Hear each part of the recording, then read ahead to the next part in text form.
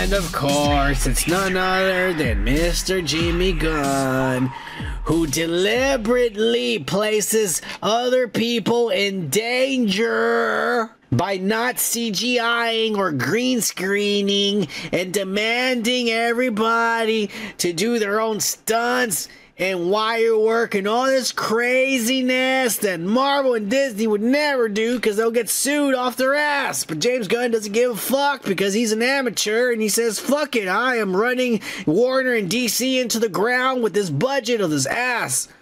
Well, guess what? The stunt man broke his leg filming a stunt in his stupid ass Superman movie. The dumbass, unsupervised, untrained, they probably got, oh, find me the cheapest guy you can find. I'm trying to save some money to take my wife over there to the Belize and shit to hang out with some celebrities. Fuck you, James Gunn. Look what happened. It's amateur. He was trying to swerve in in between cars and he hit a car and shit. Here's the aftermath. James Gunn fucking pissed off, uh, going up and looking at the damage of the car. Where, where, why didn't you swerve out of the way? He's asking the driver. You're paid to swerve and not hit him. This is a movie, idiot. So with his arms crossed, his stupid ass, fucking red shirt and his brown fucking shoes, you dumbass. Steve Jobs wannabe. You dick. Look at that guy over there, ISS, ISIS. He's, he's, he's over there in line with terrorists. This fucking guy. Fuck you, James Gunn.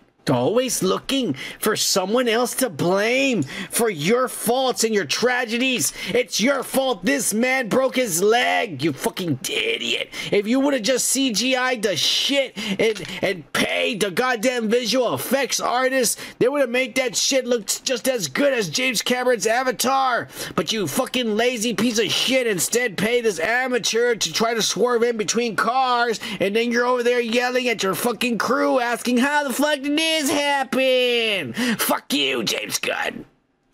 Piece of shit. You're ruining Superman and spending Warner's money. All of this. This accident cost Warner $7.5 million. You idiot. We're moving on to more ass. Yeah, I know. I know. I'm sorry. This is just, just James Gunn's fucking world. All right and his ideas about this and that.